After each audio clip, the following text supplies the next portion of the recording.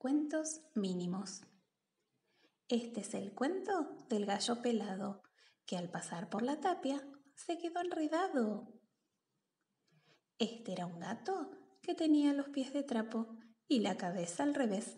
¿Querés que te lo cuente otra vez? Había una vez un pollito inglés que se fue a Francia y volvió francés. Esta es la historia de una serpiente que se cayó se partió los dientes.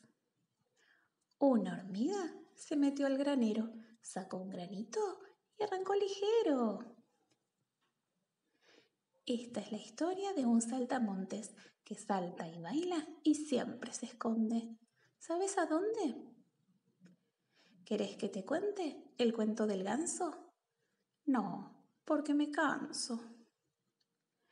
Este es el cuento de una ardilla te lo cuento y se acaba enseguida.